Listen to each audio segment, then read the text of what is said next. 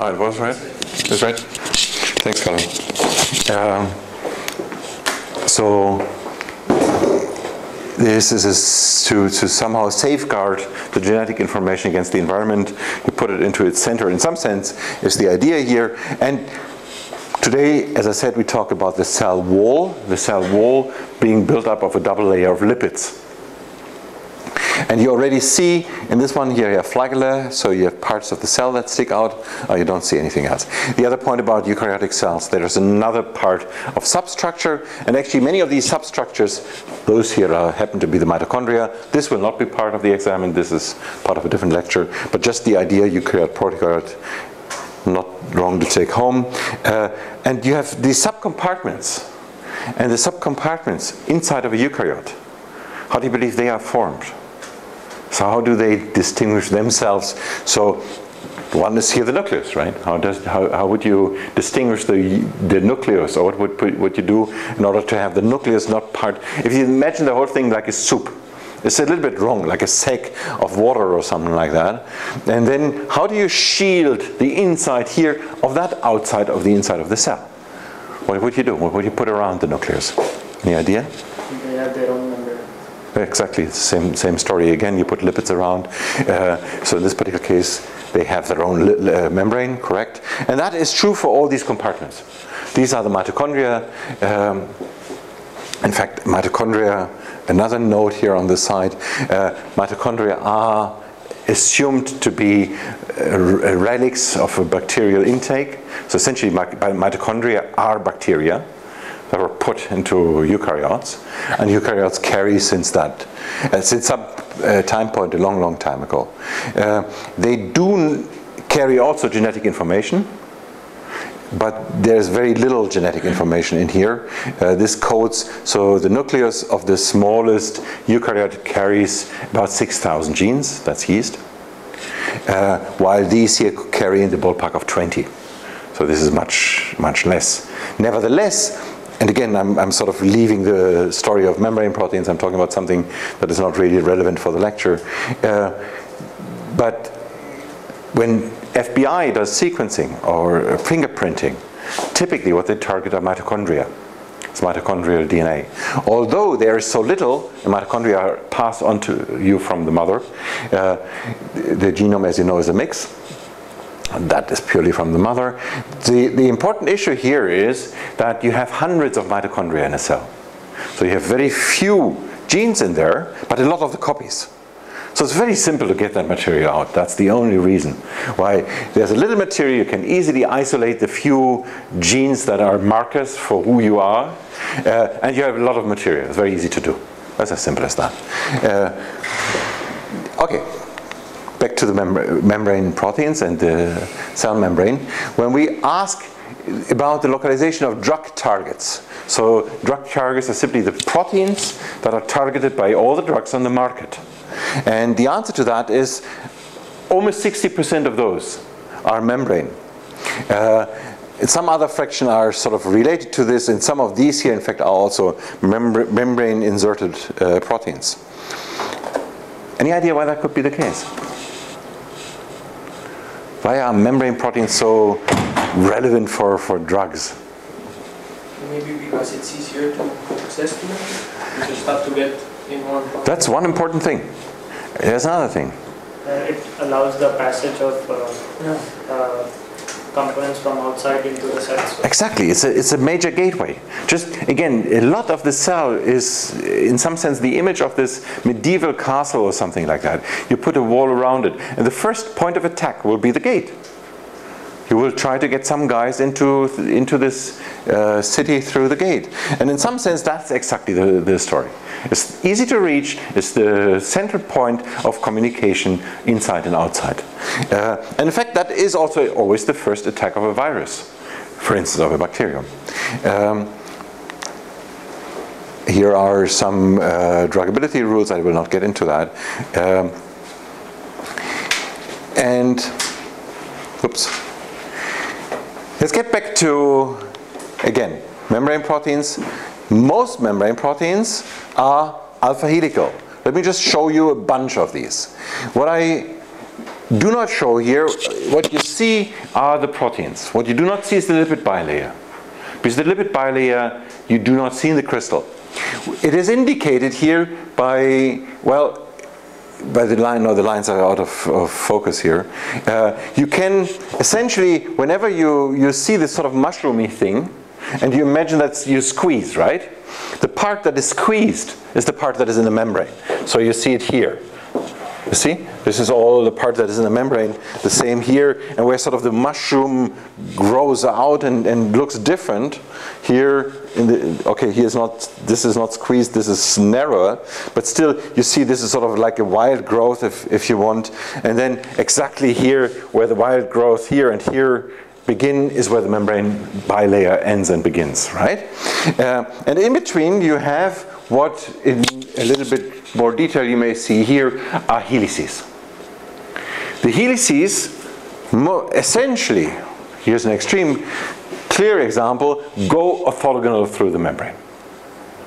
We have just this rod inserted, uh, here our example. And you may immediately see by now that the way they differ is that there are different numbers of helices. So somehow visually you see it by the density. In some cases you see the helices. Very few here, more here, a lot of them. In some cases they form a pore. Uh, but here are more, uh, more clearly shown this, the cylinder rods. Uh, here is a case where we have a pore-like formation. So you have some some large construct here that recognizes substrates and that in fact then will sort of open or close this, this, this part here. Uh,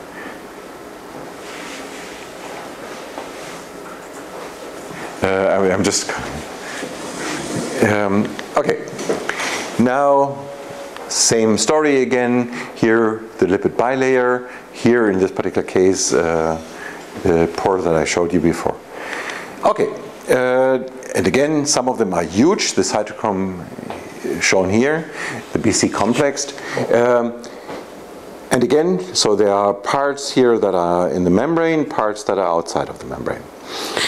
When I ask how much of the membrane proteins can we do with comparative modeling, And the answer is, say this is all the membrane proteins that we have, and this blue is the fraction of those that we can model. Why is that? Do you believe? Comparative modeling, as we just briefly explained, is a technique that in fact maps proteins of unknown structure to proteins of known experimentally known structures. Why will that goes, could that go so wrong for membrane proteins? What could be the reason for that? It's very simple. We just don't have enough experimental structures of those. And that means that we cannot map it to many, many uh, examples. And remember, I showed you previously the, the view on SwissProt, the view on a genome, how much I can do comparative modeling for normal protein, for non-membrane proteins, globular uh, water soluble. And I told you that if you just wait comparative, the power of comparative modeling increases. If you do the same for membrane proteins, you see that not much changes simply because we don't know enough experimental structures, and that is simply because it's so complicated to, to, to get them. The reason why it's so complicated to get them ultimately is they are too large for NMR. Most membrane proteins are more than 200 residues. NMR cannot handle, typically cannot handle proteins longer than 200 residues. And for crystallography, the problem is that you have to take them out of the membrane and in order to crystallize but they are they need the membrane environment and in the membrane so there are example examples of some proteins, and some of those I showed you, where the concentration in the membrane is so high that's like a crystal. Can just scoop them out and build a crystal. And that, in fact, were the first membrane structures, but there are very few of those. All the others, you remove the, you have to remove the lipid, and the moment you remove the lipid, you unstructure them to destroy their scaffold, the way they look, because that is not their native environment. So you have to find tricks to go around that. The prediction task then would be in a membrane protein to predict, given a sequence, where is the helix, the membrane helix, and another aspect of it, so that then for the entire protein would tell you how many helices you have, and how are they oriented with respect to the inside and outside of the cell. Say this would really be the cell membrane, so the question is, is the begin of the protein here in the outside or on the inside? That is important because proteins that belong to certain functional classes, they always have a certain directionality. So the number of membrane helices and the orientation tells you a lot about the function of a protein. This is not the case for globular proteins. If a protein has seven uh, helices or eight, first of all, they don't have an orientation because there's no inside and outside in the middle of a cell. Uh, secondly, the number of helices in a globular protein is not that important. Here it is. Somehow functional classes are grouped around number of helices. Why is that the case? Is, is, we don't know the answer to that question. Ultimately, I guess this is history, uh, is a trace of history that we see. It evolved that way. So if we simply one way, we talked about membrane prediction, uh, helix secondary structure prediction. So we could just predict secondary structure. We could, the methods that I showed you, since we are talking about helices, why not apply them to this particular task? Uh, are fully sure that we have only alpha helices in this uh, protein matrix? Sorry? Sorry, in this membrane, uh, the proteins which we have are only alpha helices. Yes. fully sure? Like there can be another loops or uh, something? So what you, let me go back, I'm sorry, uh, I should have made that more clear. So yes, you do have sort of loopy regions here. You have connecting loops, but ultimately the only thing that you will observe in the membrane are helices. There are exceptions, uh, but almost always you see, whenever you see this helical part, uh, and here immediately in this particular protein, again, I told you that sort of the squeezed part and you see the membrane. You see that immediately, right? You don't even need to see the lipid. You can guess it, its bounder somewhere there, and you see that the part where in fact the, uh, the lipid sits, you have helices in green and yellow here, and then there's just the connecting loop that is going outside. Sometimes you have a little bit of a kink in there that then forms into something that is a local region that is non-regular, that is not really a helix. But mostly in the membrane you only observe helices. There is a different class of proteins that are in the membrane. They have beta strands and we will get to that, uh, I assume on Thursday. Okay. Any other issue about that? Whoops. Sorry, now we sit with this and shouldn't have done that. Okay, if I applied the prediction method that I talked about so far, we observe a membrane helix and we predict a beta strand. So it's a completely wrong prediction. The method that predicts helices and proteins that are not membrane bound goes totally wrong. Why do you believe this is? How could that be the case? maybe tries to account for the leakage for the scaffold it provides. So this method didn't see a lipid, that's true. And the scaffold of the lipid is something that it cannot see. So does that give you some idea what it means if I would take that protein out of the lipid? Form a different structure. It would form a beta strand. In fact, in many of these cases, this is exactly what they do. Uh, so we have an example where in some sense you could argue the prediction method is right because it is trained to, to predict the structure in solution. And that is what it correctly predicts. But for this task, absolutely wrong, because you clearly see a membrane helix and, and, and not a, a, beta strand. And that is what we try to do. So, um, oh, here we get back into the outside and inside. And why is that the case? Well, so you, you have this image of a scaffold. Ultimately, what it is here that is the lipid bilayer with the head groups here. They stand like this. That is the inside of the membrane here, uh, about for in the ballpark of 2.5 to 3.5 nanometers. Um, so that is like 30 angstrom, by the way.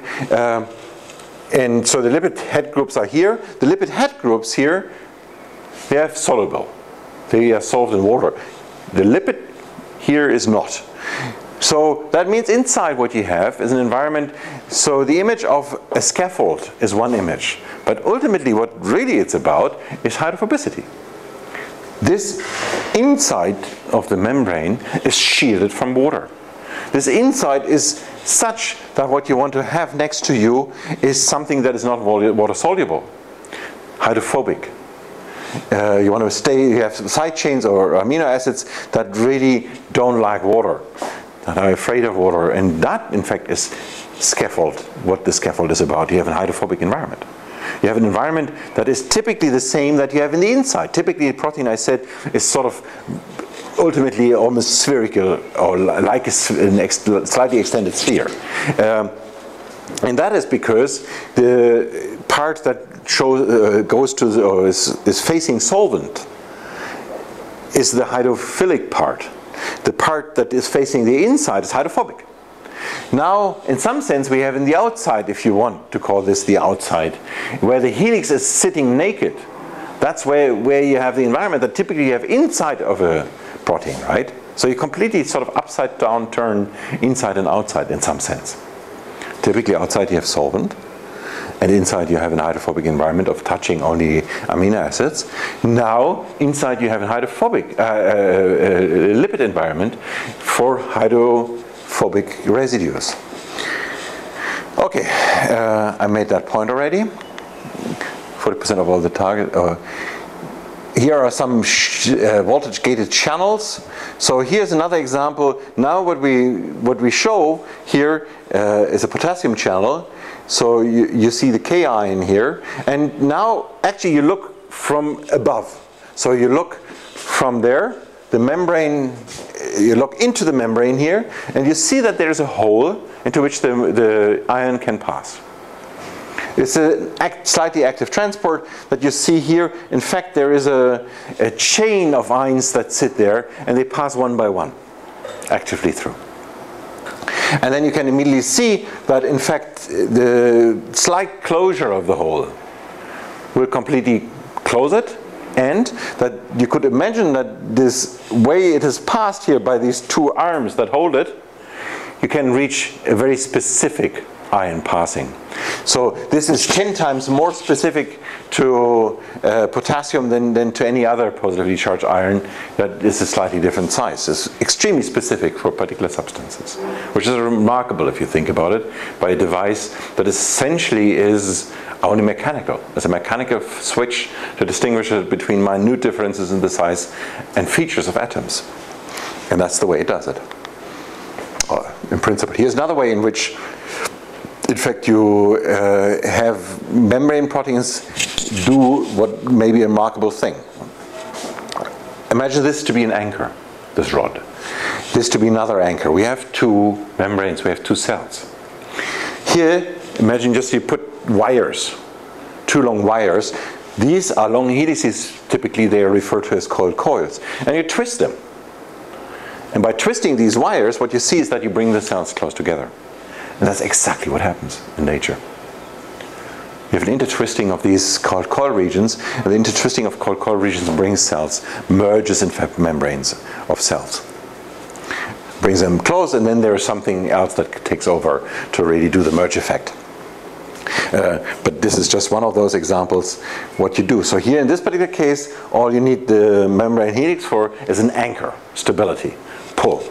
This is a different type of protein, or this is a different type of uh, complex. But this is again a membrane, prote membrane proteins that do uh, that do this. Uh, so again, it's an inversion of the regular rule. Hydrophobic now uh, is at the outside, so usually you're inside. Now you want to uh, the solvent is here, and you have water soluble sides on it, uh, and you invert that. And that is essentially the part um, that we have to account for when we predict membrane helices. So some residues are hydrophobic, and now what we need to find is residues that are hydrophobic that form um, helices and go through the membrane.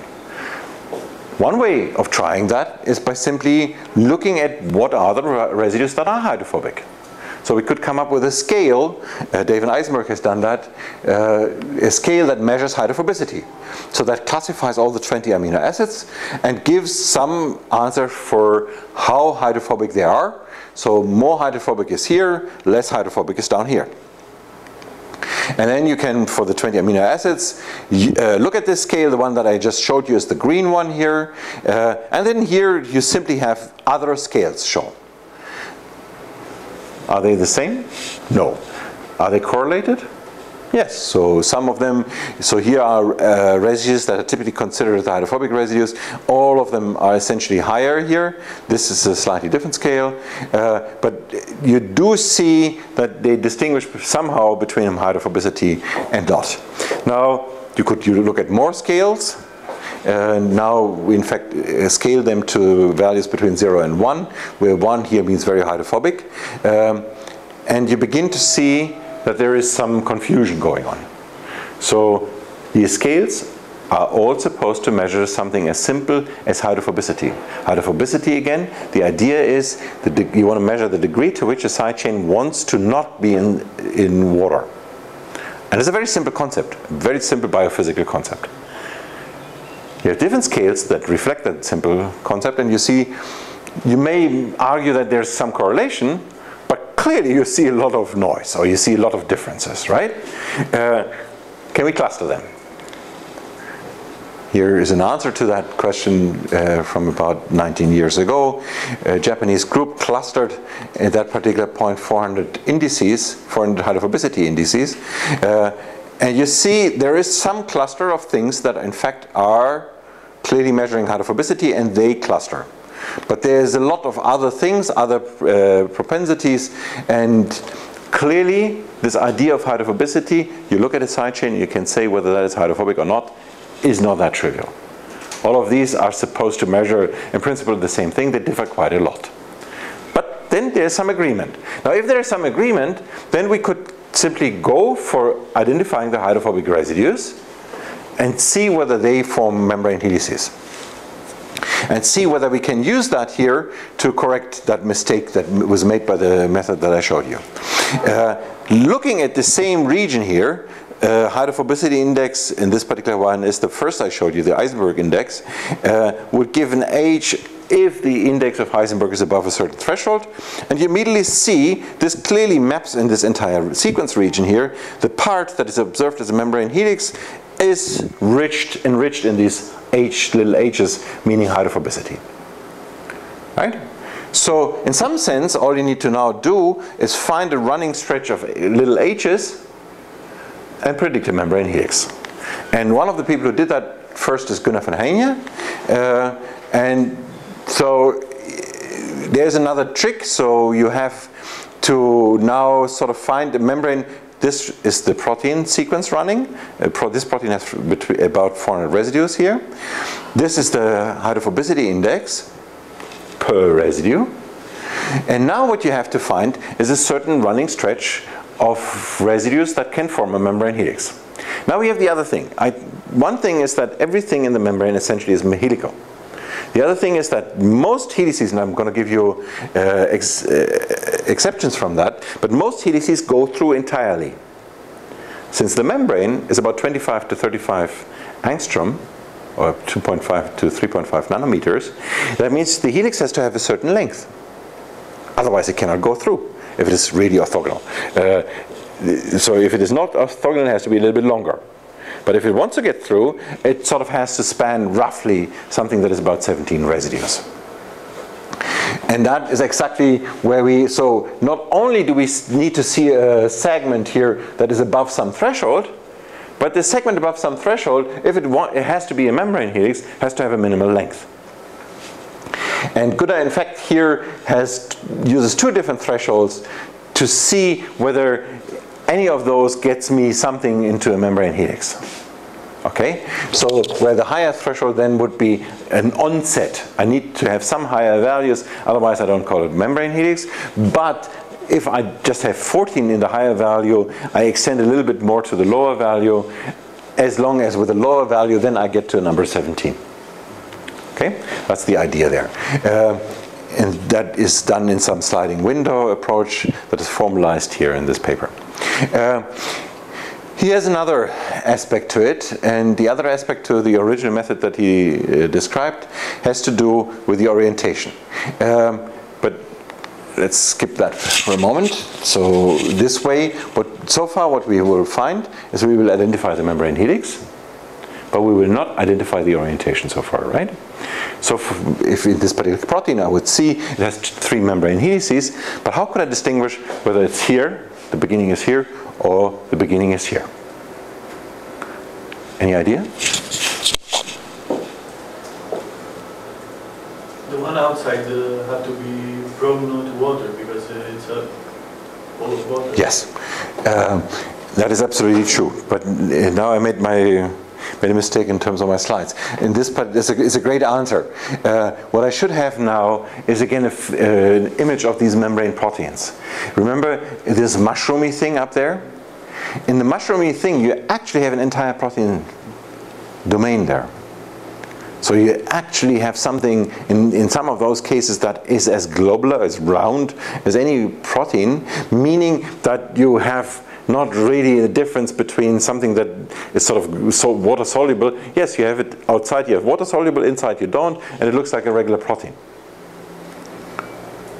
But uh, you are onto the right idea. Uh, what do you believe? How will the sides differ?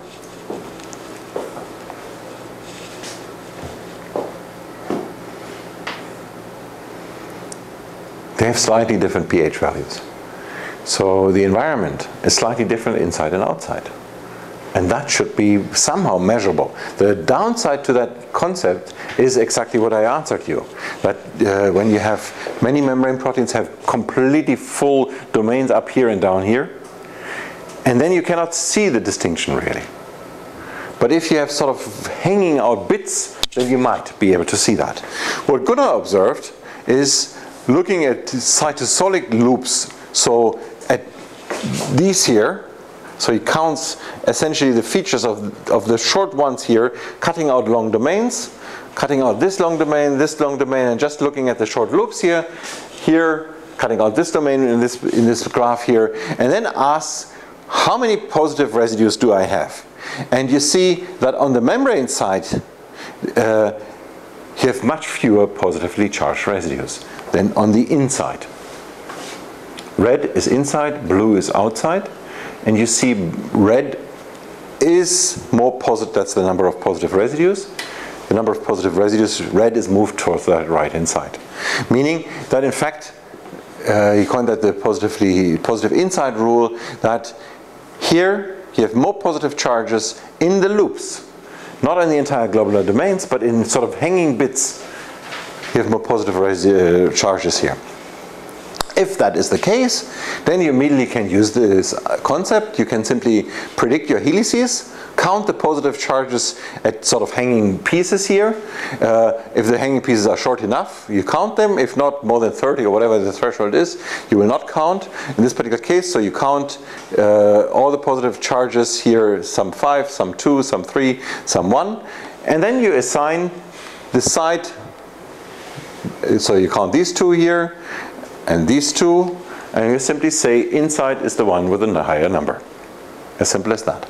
And that's the idea of Gunnar. In fact, Gunnar, uh, after he discovered this positive inside rule, he went a step ahead uh, beyond that and simply optimized the placement of the helices such that this number would be optimal. So the difference between inside and outside. That was one of his ideas. Um, here's another idea uh, from the White group. The argument here is one way in which we can look at it is the way I described to you. We want to have hydrophobic residues in order to identify membrane helices. Why not turn this upside down? Why not just look at membrane helices and argue membrane helices are correctly evolved for the environment, hence let's find the scale that describes best the set of observed residues in membrane helices. In some sense, if you want, this is like a machine learning of the membrane environment, the membrane scaffold in some sense. And that is the idea here uh, to, in fact, correct that uh, prediction by bringing a, a, scale that's specific to membrane helices. Another way of doing it is getting back to that method here that I described to you, used globular secondary structure, predicted globular secondary structure by, by learning from globular proteins globular proteins that are not membrane bound. Okay, uh, so how could we reshape that method to treat membrane proteins? Simply. Hmm? We can train it.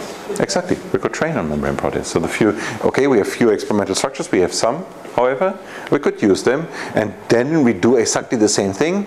You may remember that the major signal here was the evolutionary signal. You may, may remember there was a sh- first level network that was produced a little bit too short helices, and then there was a second level network that made the helices longer. So you can do all of that and come up with a new method. Now there is something else that you need to do, some additional thing. In a globular proteins have about 50% of their residues are either helices or beta strand. And you predict the helices and the strands, and that essentially is the end of the, the day.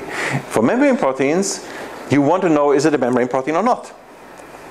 In some sense, that means that if you, for instance, here have a residue number running, this, the potential for non-membrane and the potential for membrane here, uh, they're inverse of one another, you may observe. So this is one minus that, or the other way around. Uh, so essentially now you have to simply see, is this compatible with the idea that the protein has at least one helix or not? And then you introduce, it's a hack, uh, and you introduce a certain threshold and say, if so, then yes, it's a membrane protein. Then you take, in fact, now here's another idea, um, and I'm obviously skipping over that. Um, so I said that the first level, where input is sequence, output is typically regular secondary structure, in this case it would be helix mem helical membrane or not, uh, that typically what it does is he, the predicted helices are too short. Typically predicted helices in globular proteins are 10 residues. For membrane proteins, I already told you there should be 17 and longer, typically.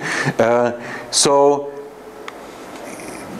by then putting in the prediction into the second level, that in fact sees only the helix prediction and comes out with helices again to see correlation between adjacent residues, that is the idea of the second level. Uh, and for globular proteins this worked very well and I told you that in fact the helices that predicts are on average looking exactly like the observed ones as a distribution. For membrane proteins, unfortunately, this works too well. In the sense that now what comes out here is twice as long on average, or, or much, much longer on average than actual membrane helices. When it's twice as long, it's easy, right? What you, so typical membrane helix is 17 residues. Uh, if I predict one that is 34, what do I do? I cut it. And I assume that rather than, since I have not observed membrane helices that are 34 residues long, I assume it's just two. And all that I, my, my prediction method simply doesn't see the kink. And that may be uh, because the kink in fact is, it would form a long membrane helix, but it is energetically so unfavorable that it's actually inserted back into the membrane. That's the simple reason. So again, the prediction method may actually be right. Uh, but so you would have a simple hack. That's one way of doing it. Another way of doing it is you perceive this as an energy landscape and you find the optimal path through that energy landscape. So let's just look at it. If you want to find a membrane helix that is 17 residues long, or about 17, so you have some window between say 15 and 25, uh, so you want to find the one membrane helix between 15 and, and 25 that has the highest signal in this energy landscape per residue. How would you do that?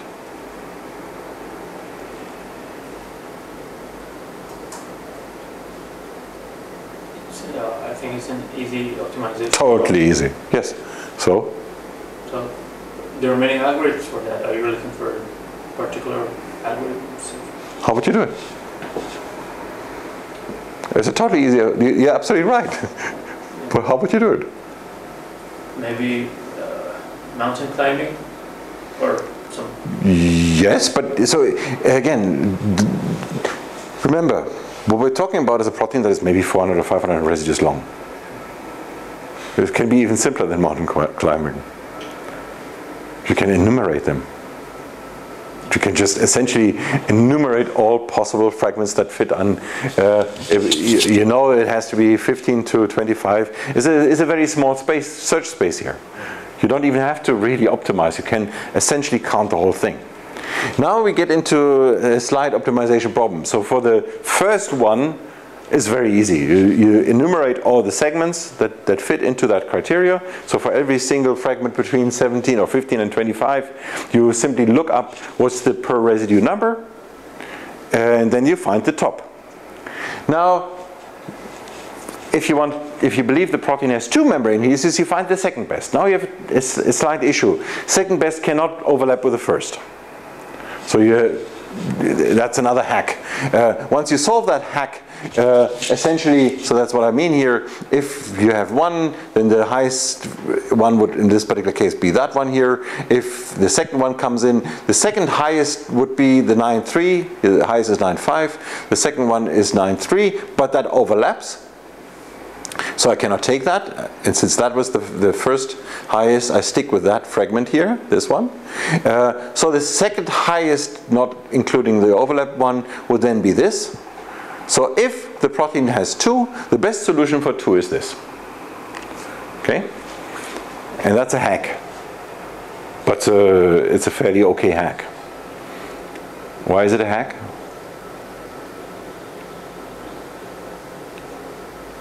Why is it not strictly true what I'm saying? Because I'm not going back and asking, well, maybe the combination of these two, actually the longer one would have been right. I assume that at every single step what I did was best. By doing the next step, what was best in the previous one, what is best for both of them may change. And that is what I'm not checking again, simply because of speed. Uh, because that will then actually explode my complexity a little bit. Uh, but as long as I assume this, the, the, the best guess is the best way or the good way to do it, and that whatever I got me here was right, and then at the next one is a totally trivial algorithm. Uh, very, very fast. And then again, at the end, I simply assign the orientation according to the numbers that I look in between. Positive inside rule. And in this particular case, the method would predict this. So turn something that was entirely incorrectly predicted into something that is entirely correctly predicted. Um, now, I briefly introduced hidden Markov models. Hidden Markov models are great when it comes to grammar. So when it comes to rules that have to do with something that is uh, repetition.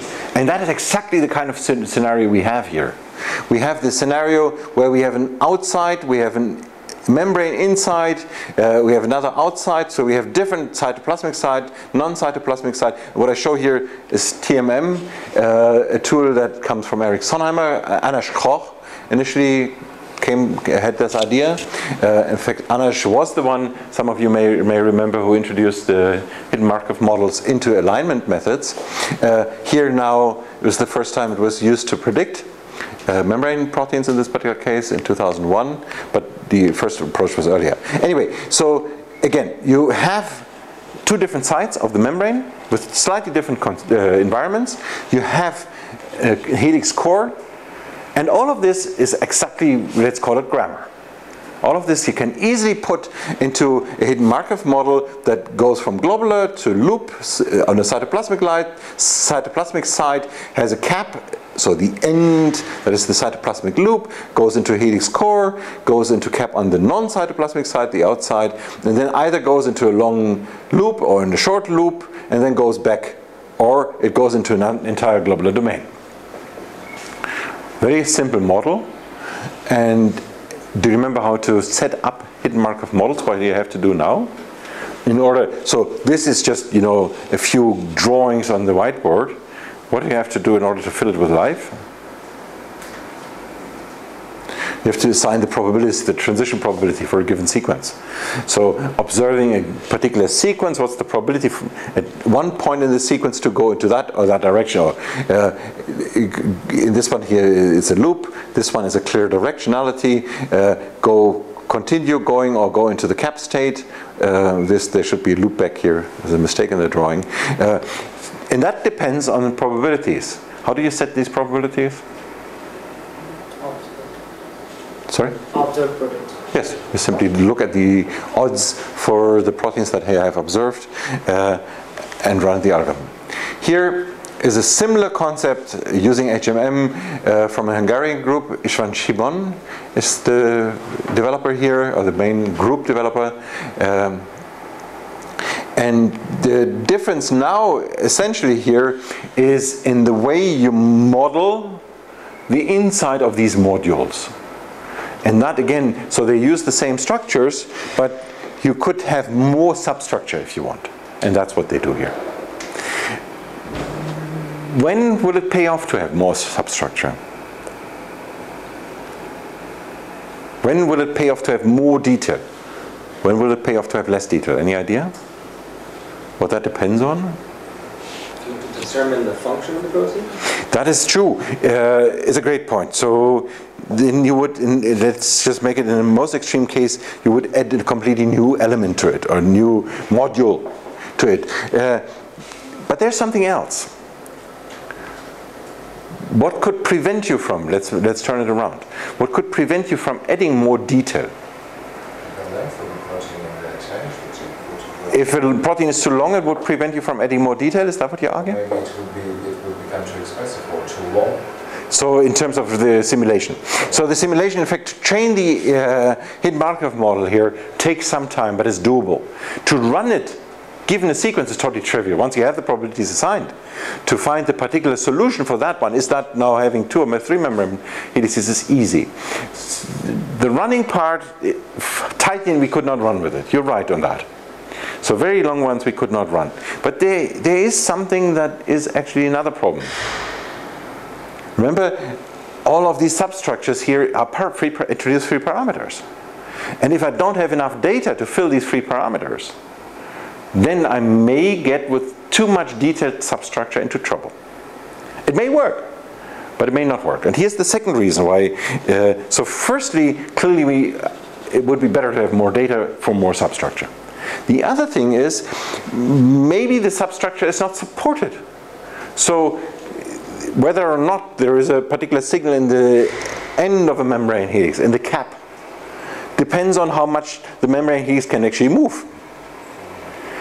If the helix could move easily, a little bit up and down, then that particular end would not be very well defined.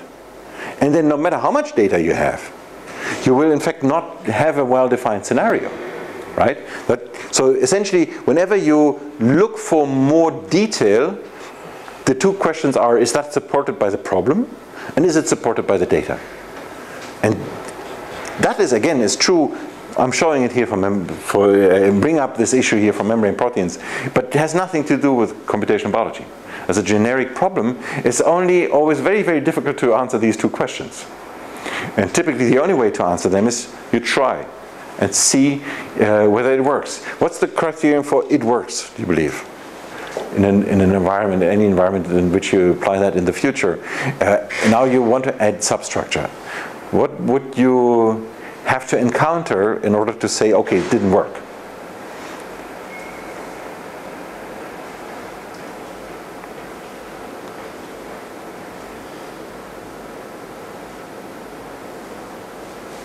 So you build a model to simulate uh, the odds of a cer- certain uh, party winning some final game. Barca winning uh, against Juventus or something like that. So you have, a, you have a model that predicts the probability of uh, Barcelona winning. Uh, and the model does not say Barcelona always wins. This gets a high accuracy, I understand that. But uh, we want to refine from there. So how, how can you see whether more substructure? So if more substructure could be a particular player is on the on the field or not. How could you see whether that works? Validation uh, do the validation on the existing. Uh, on their existing data. So you could, that's a great idea. So you essentially, for the existing data, you ask uh, Neymar on the field or not, is that actually making a difference? So you have winning, losing, uh, and, and draws, and is the Neymar equally distributed between the three? That's an easy way of doing it. Um that, in fact, that is a way of doing it before you ever do the prediction method. The, once you have the prediction method, you could also see does it improve? So is actually this particular submodel that you have, does it lead to a higher accuracy? Or if it actually is neutral in terms of accuracy, does it lead to a faster overtraining? And then possibly you may at that point already be in overtraining mode, so stay away from it. Those are ways of, of, of handling it. Look at overtraining, look at the performance. I will get back to the performance of membrane helix prediction. Um, and in fact, Jonas will get back to that on Thursday. Uh, so I skip this slide. Um, now, let's just uh, have a different look at it. The different look at it will now be when I look at an entire organism. What fraction of the organism is in the membrane? One point that I should have made more clear here, I told you that experimental structure determination for membrane proteins is difficult. What I did not say is about 1% of all the known structures are membrane proteins. 1%. What do you believe the, the, the fraction of membrane proteins in a cell is? It must be higher than 1%. Otherwise I would not have said it's an underrepresentation, right? Any idea? I said more than 50. More than 50, more than half. Uh, so you're not that far off, uh, less than a factor of two. So eukaryotes, uh, prokaryotes down here, bacteria, archaea. Um, and you see that roughly all of those have in the ballpark of 15 to 30% of their proteins in the membrane. What is a remarkable outcome here, in fact, for many years textbooks uh, argued that eukaryotes would have way more membrane proteins than prokaryotes. And the reason for that was that eukaryotes have a more complex structure of handling signals. And since membrane proteins are sort of the signal entry point, that is the way you could see handling more complex scenarios. Turns out it's not true. Uh, as I already told you, the length difference between archaea or prokaryotes and eukaryotes is also not true. As the amino acid composition between archaea, uh, prokaryotes and eukaryotes is similar. So essentially what, what you see here is the percentage of this particular amino acid used in bacteria, eukaryotes, archaea. And you see it's essentially similar, right? Uh, the distribution. As is the family size, let's not get into the detail. Uh, membrane proteins, all of these are very similar. Um, so we don't have this issue of more transmembrane helices is more complexity. But there still is an issue that has to do with this, the number. And now it gets complicated again, I'm sorry. So what I show here is number of membrane helices predicted. And I distinguish between white, they face inside, and black, they fit outside. And I have different organisms here. This, for instance, E. coli, this is the fly, this is human.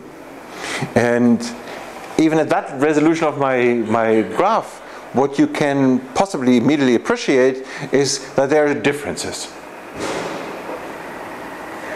So while it is true that overall 30% or 15 to 30% of all the proteins are in the membrane for all of these organisms, some of them human for instance, have a lot in one particular position. That's seven. That's a black seven here. And you do not see this peak in black seven for all of the other. For none of the others you actually see it. Uh, so that's a particular class of proteins. In fact, most of the drug targets are exactly these proteins here, uh, G-coupled receptors. Uh, while other organisms, as bacteria, for instance, have peaks here in, in uh, for instance, 6 and, and 12 that eukaryotes absolutely don't have here. There's the 6 is empty, the 12 is, is essentially empty, uh, and that is high here. And that is what I said, the number of transmembrane helices and the orientation has a lot to do with a particular functional detail. And it's very organism or, or, or kingdom specific in some sense. Bacteria have different makeup. But overall, the number of proteins are similar. Uh, let's, let's skip these. Um, uh, that is, the, by the way, in, just in the background, uh, about 15 to 30 percent or 35 percent is membrane proteins. Uh, about 15 to 20 something percent is secreted proteins. So these are proteins that are outside. And again, you see that is, uh, here the number is zero because I should have a, a strike through. The method did not, could not predict this. This is not that there is none here, that is an inability of the method to predict it, while in these cases here, the, coil, coil, uh, the nuclear proteins are not existing uh, because prokaryotes don't have nucleus. Uh, and the nucleus, nucleuses you see in the ballpark of 15%. So 15% nucleus, 15% outside, and 20 something percent uh, membrane proteins. And some, somehow this is a coarse grained makeup of a cell. Uh, okay, so again, we have about 1%, 20% of all the proteins are membrane proteins, about 50% of the drug targets are membrane proteins, but only 1% of the structures. And that, in fact, creates the background at which membrane prediction is so important. Because you cannot get the structures, you want to have the, the structures because they're important financially, they're important for uh, health, they're important to advance in certain ways, and you can't hardly get at them. Um, okay. Now, there are, by the way, um, about 107 families. Um, at this point, we have about a thousand unique membrane, or this is higher now, a thousand unique membrane structures. I'm going to give you a couple of problems, additional problems in the membrane prediction, and some of these slides come from Arne Elofsson, who you see here at this wedding and climbing. Uh, so the first issue here is can we, in fact, since we have, and again, this is the membrane helix here, this is the outside part in this particular case, uh, can we find ways to have sort of predict interface helices? Interface helices shown here in red. Um, they are typically fairly short, 9 amino acids, sometimes up to 19. Uh, they're most frequent, he says, in the photosynthetic reaction center, but that is true for the set of known structures. Uh, I'm not sure this is still the case today. Uh, but many contain some sort of helix like that. You could imagine it like a lid that you sort of create this pore and there's something on top of it to close it. In some cases, that really is a lid. Uh, it is a helix that swarms on top. So that is one, one issue. Now, why could that confuse our membrane prediction? Because these lids, in fact, are helices that are very hydrophobic. In fact, they sit partially or sometimes entirely in the helix, in the membrane. In this particular case, they sit orthogonal, and they can go in and out. Uh, but they have a lot of the features of a membrane helix, but they are not passing. So in this particular case here, assume they would be close in sequence. Then all you need to, to assume is that they, they, these two are joining, and rather than seeing that in fact you have two interface helices, you would predict it as one membrane helix. And predict this as one membrane helix would be twice wrong. You would be wrong in the number, and you would be wrong in the orientation, because suddenly the inside-outside counting would totally go off. Um, so that is one issue. The other issue is related, is reentry helices. Uh, and 10 years ago, we had seen essentially very few of those, or this is actually, um, I'm not right, more than 10 years ago, he already saw the first. Uh, the, uh, ten, nine years ago, he had seen 36. 20 years ago, we had not seen a single one. Now we know many, many more.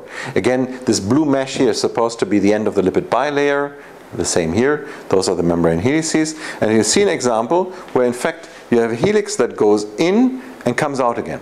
Same here. Into the uh, lipid and out again. And these two almost touch. So in terms of the way the membrane helix is built up, it has, you have essentially the same biophysics as a long membrane, uh, a long helix, but you form it from two pieces. And in this particular case here is a violation to what I said. Uh, you have now loops that connect you back out. Okay? So here we have examples where in the membrane we have something that is not a helix, uh, not a beta strand. Um, again, so the length, some of these are very, very short, some of them are fairly long. That's another problem to uh, predict. Now, and here, here's an example how they sit. So in this particular example is where you see it's almost like a long helix continuing. Here you just see it's two parts of a helix that is almost broken. And So it's, it's like this long finger that would go through as a nice membrane helix, but instead it suddenly goes back. Which again is something that is very difficult to, or very easy to fool membrane prediction method because you would have a helix that looks exactly the same length, exactly the same features, totally hydrophobic, uh, and could easily go through. If you don't recognize that kink, you will get the wrong prediction. Um, and how could we predict these reentry helices?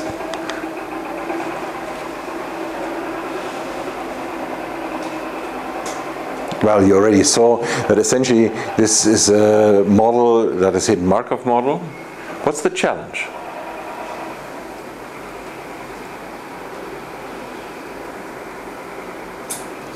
So one, obviously, is what I've been indicating that they look very similar to other helices.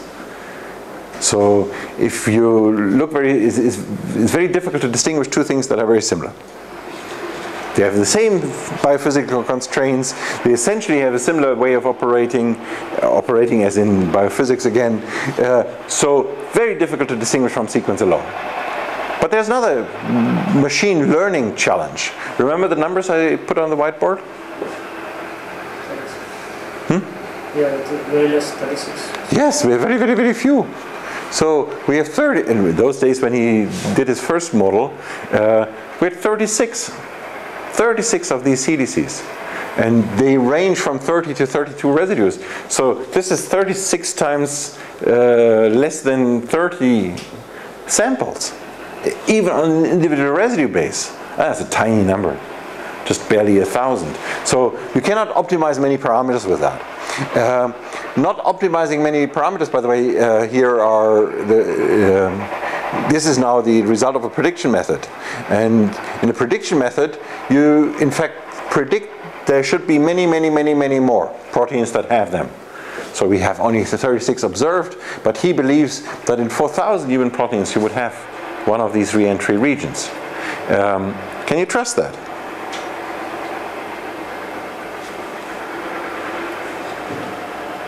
So you start with 36 as a small number, and it's very easy to say no. We cannot trust this because the number is too small, uh, and these estimates are so far away from what we have observed. So it may be totally wrong, but then it may also be totally right. What could you do to sort of increase your belief that what you do is right?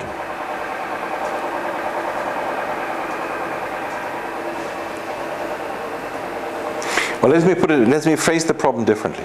Let's get back to the number game here. You have a problem, uh, and you need a solution for that problem. And you have very few numbers. How can you dare to approach the problem, the problem without overfitting?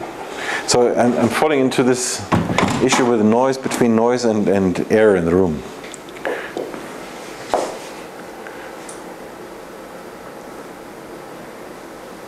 What could you do? Well, It's, yes, that's the danger, but how can you avoid that? What could you do so that you reduce the odds of oversampling as much as you can?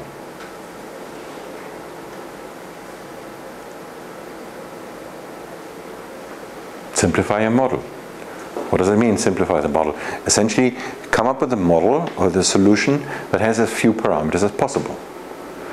Um, and that is, again, is a design matter. You could just say, okay, uh, I have a set of, of residues, I have one parameter, and I, well, actually, let's go, if, if I would look at the amino acid composition, so which residues are used in that helix, that already is too much, maybe. It's 20 parameters. So I have to come up with a model that is somehow simpler than that. Uh, what is somehow simpler than that? Well, you could possibly argue um, there is one particular type of residue. So here would be the bingo ex- example. There's one particular type of amino acid that makes this kind of turn. And you find that one. Then you have one parameter. That could go. But again, I believe what I'm trying to raise here is the awareness in an environment where you have very few parameters, you have two options. One is just say I can't do, another one is to be very careful in the way you build the model. Now, the real challenge is that you know, we have a problem here. We have something that obviously nature finds a way to do it. Uh, we don't understand how. And it's very difficult for us to understand how nature does that. And that typically is describing a problem that is not easily solved with one free parameter. But typically, all I described here are aspects that typically call for a much more fine-grained model. But we don't have the parameters to fill the fine-grained model. And this is why in situations like that, mostly people just who understand enough um, about machine learning or, or, fitting stay away from it. But again, we have an example here where we have uh, strong pressure, and then ultimately all you can do is be as careful as possible with the data. Hope that by the time you have finished your project, there is new data out there that helps you to estimate how much overestimate you possibly put into your method, uh, and possibly allows you to, to go back. Uh, there have, has not been a lot of new work on this. Um, and this is to some extent because, not because of these numbers, but to some extent because uh, I guess the problem is really a complicated one. Um, now, the other issue pertains to more recent structures that we have seen. Uh, I answered that essentially everything in the membrane is a helix and that mostly membrane helices are orthogonal to the membrane. That's the, the standard issue. I, now we have seen all kinds of issues that sort of invalidate what I said. One, these interface helices that hang out a little bit, the reentrant helices that come back and uh, out and back, uh, and then there. Oops, sorry. Uh, here's another issue: the issue of the angles. So many helices. So this one here is a reentrant helix. This is in fact uh, helix with a very strange angle. This green one here is not re-entering. It really is going through, but it's going through is something that is not really helical anymore here. Uh, here we have a helix that is at a very different than orthogonal angle. This is important because there you can no longer say that it is 17 residues. At a 45 degree angle, this is uh, much, much more than that, at least a third more, right? Uh, so methods that try the algorithm that I told you before, that try to optimize the between uh, 15 and 25. If you now suddenly have a, a 35 residue, I said hack cut in half, but here it's no longer true. Here we have another issue that is something that is, has been observed more and more often actually, where you have a membrane helix that is a nice membrane helix, but it actually sticks in the core of a protein. We get back to the issue, the core of a protein is hydrophobic. To stick a, hyd uh, a hydrophobic helix into the core is energetically perfectly feasible because it's the same thing as the lipid. So why in some proteins do you have this, this, this thing stick in the center or not is, remains a puzzle to us. Uh, Gunnar von Heijne again has seen examples, and that may have been this particular protein, I can't remember which, uh, in which changing the environmental conditions slightly pushed this helix out into the membrane. So he had, they had seen one structure in which the helix was inside of the core of, of the protein. And another one, in slightly different conditions, when this, in fact, that was predicted to be a nice membrane helix, was inserted as a nice membrane helix. Again, the question now becomes, which is that a prediction mistake? We cannot see the environment. Uh, in some cases, it is a prediction mistake, and we have to distinguish between things that really sit in the membrane and things that look like a membrane helix and sit inside of the protein. Um, but that makes it more complicated for prediction method. Another idea uh, introduced by by several at the same time, this is the publication from uh, Arne Elofsson, is the idea of a z-coordinate. So the z-coordinate, essentially, again, I told you that the lipid bilayer, the membrane, is formed by two lipids facing each other. And since you have two lipids facing each other, you can already suspect that there will be sort of a difference Whether you're between the environment in the center of the lipid, okay, it's all hydrophobic. But there's a slight difference here at the center and closer to the surface. And maybe then this could be sensed. Maybe you can in fact predict the difference between a hydrophobic helical residue that sits more at the end and a hydrophobic residue that sits sort of in the center of two lipids. Um, what this one here shows is that sometimes uh, the, the method that predicts it does do the prediction fairly right. And that you can, in fact, sometimes distinguish between the degree to which you are in the center. Where again, the way you train that is you use data that labels residues according to this z coordinate. The problem with that here is that now we also have a problem where the experimental data is not well defined. I said we don't see the lipid. Not seeing the lipid means that you sort of can move around a little bit here. It's, your experimental information is not clearly telling you uh, is the zero here or here or here. So that immediately makes the data that you use in order to train systems here inaccurate. Right? And that is one of the issues, uh, if not the major issue behind here. Yeah? Aren't uh, protein moving a little bit inside? So the remarkable reality is that the, if that is now my lipid, uh, the degree to which you can do this is very limited. I talked about this helix that was pushed back. That is a big exception. Usually proteins don't move in that direction. But you can easily move in that direction. So in fact, you can move the th whole thing through the membrane very, very easily. But in that direction you cannot. So the, in that sense, the z-axis, or the what is this graph introduced here as a z-axis, uh, is well defined, biophysically remarkably. Uh, but again, so the problem really is the labeling, the correct labeling of the data. We're at the end of today's lecture. Um, on Thursday, I'm going to talk about, uh, so Jonas is going to talk a little bit about how good membrane prediction methods work. Uh, and then I will go on and talk about beta membrane prediction uh, and get then into the prediction of solvent accessibility. Um, then we get into disorder prediction and then we get into contact prediction. Thanks for your attention. Any questions?